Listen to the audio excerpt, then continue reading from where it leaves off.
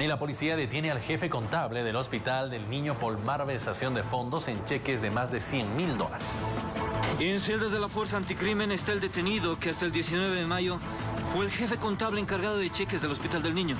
En una revisión de los libros de cheques, funcionarios del hospital se dan cuenta que existía una malversación de fondos en nueve cheques que debían servir para la compra de medicamentos e insumos para pacientes del Hospital del Niño. Todos los cheques fueron cobrados en día sábado. Si del Hospital del Niño sale un monto, debe ser para cobrar, comprar medicamentos de INTI por un valor X.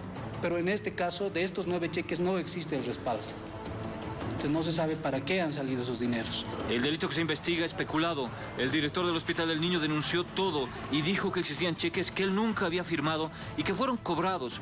Podría existir una falsificación de firmas para el cobro de los cheques. Los cheques tienen que ir firmados por dos personas. Una es el subdirector administrativo financiero y otra mi persona.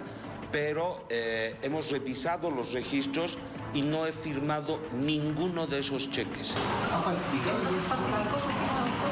Lo más probable es que sí, porque yo no, eh, no, he firmado ninguno de sus cheques.